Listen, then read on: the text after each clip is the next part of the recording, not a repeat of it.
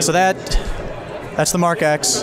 Then this one, uh, definitely very different from the Mark X. So so So this is this is our new Metal X. We're debuting it new at this show. Uh, what it does is it's a similar idea to our composite technology, where on the composite you have continuous strands of fiber encased in plastic that you then like remelt to make this carbon fiber parts. Here we have a, a powder encased in plastic that you melt into layer by layer to build your part, and then when that when the part's fully built, you take it out and you and you uh, sinter it in an oven where you burn off the plastic and the and the metal uh, diffusion bonds together. And we call it uh, atomic diffusion uh, additive manufacturing, which describes how the little spheres like shrink together. so the shrinking is it consistent across different part geometries, or how how does that how do you plan for that? It's it's consistent, and then we have some, uh, and then the software does a little bit of analysis for where places where it's not.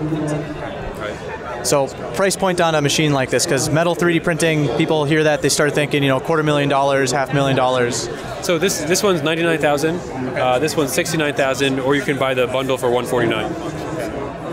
And so right now, it's just one type of metal with the with the uh, the Metal X, or are there more metals in, in process or planning, or So it's currently it currently prints uh, stainless steel seventeen four, which is what this is, and then three hundred three, and then beta we have sixty sixty one and seven seventy five aluminum, as well as uh, titanium six four. Uh, tool steels A2, D2, and M2, uh, and then Inconel 625 for the So- rocket guys. it's quite a quite a variety. So this is shipping today or fall when A few customers have them already. The uh, and a few more betas will go out in Q2, but uh, the production units will go out in September.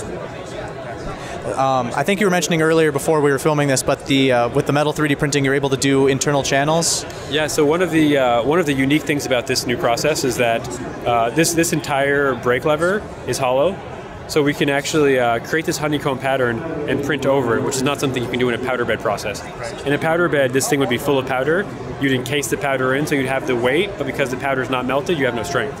Right? Because we're depositing material otherwise in air, uh, you can make these hollow sections that are printed over. Right? So this would this is like a 50% air. We're making it 50% lighter than it would otherwise be. Right, and less material cost. Less material cost All right. and faster printing. All right, very cool. Well, Greg, I want to thank you for taking the time to talk to me, show me these printers. Very cool stuff. This is, I know 2016 was a big year for you guys. I think 2017 is going to be really fun to watch. It's going to be a fun year. All right, thanks again.